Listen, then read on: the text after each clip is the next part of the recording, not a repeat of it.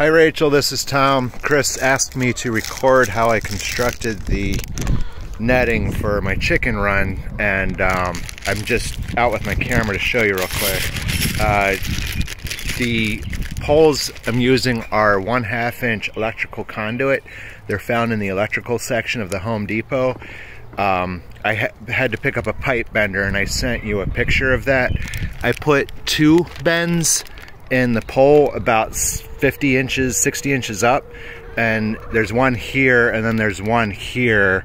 And I did it that way so that I could ease the bend and it wouldn't kink the pole under stress. Um, there's three poles making a 20 foot span. The, the only bends I put are at the top of the post. The center pole is just bent under the stress.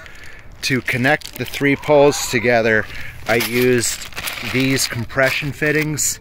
They're real simple to use. Uh, pole goes into each end of this and then you crank down on these nuts with a pair of channel locks and they squeeze the pole and they hold it really firmly in place.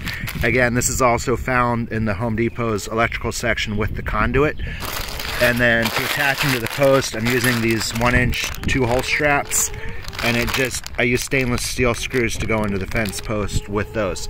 Um, if you bend and assemble three of them on the ground, then two people can force the whole thing in place and the middle will just bend on its own. This half inch stuff is pretty easy to bend. Now, I don't know how the half inch is gonna stand up to a violent windstorm. It could be that I needed to use the three quarter inch. I just didn't wanna buy a three quarter inch pipe bender and the stuff is more expensive too, so I'm hoping I can get away with half inch.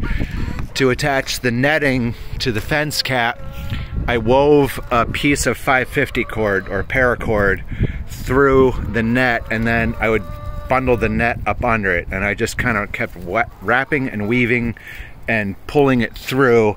I used eye bolts every so, I don't know, every four feet or so to um, attach it to the underside of the fence.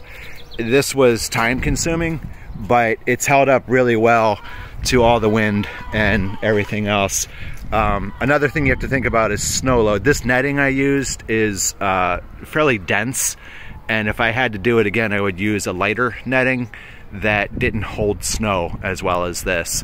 Um, you can see what happened to the PVC when we got a good snowfall this year which I'm not surprised. Um, I think that's it. Get the paracord off Amazon. You can get a spool of 500 feet pretty cheaply.